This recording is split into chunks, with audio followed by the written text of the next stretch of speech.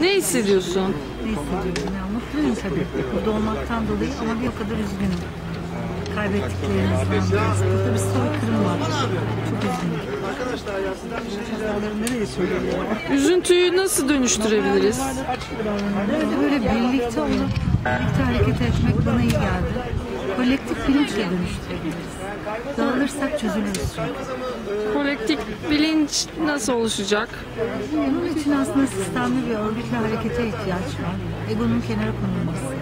Geçmiş tecrübelerden, geçmiş edinimlerden faydalanmaya ihtiyaç var. Çünkü burada birçok direnişte ve kazanan arkadaşlar da var. Onların, onlardan destek almak lazım tecrübelerinden. Çok genç arkadaş var. Onların heyecanlarını.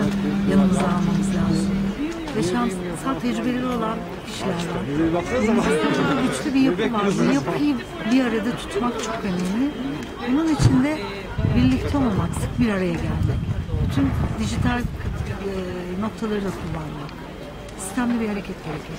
Örgüt kurulması için. Ee, bunlar STK'lar mı yani? Sadece STK değil, burada bireysel gelen kişiler var. STK'lardan bağımsız direnişlere destek vermiş kişiler var. Onlara ama nasıl ulaşacağız eğer e, Onlar buradalar zaten. sistemli değilse? Duymuşlar, gelmişler zaten. Daha çok Onlar insanı nasıl konseyin- duyurabiliriz? Daha çok insanı duyurmak için bir en önemli kriter sosyal medya. Sosyal medyayla duyurmak. İkincisi e, buradaki köylere ulaşmak çok önemli. Halk arkaya almak çok önemli. Bravo. Biz dün gittik iki tanesine. Ne diyorlar?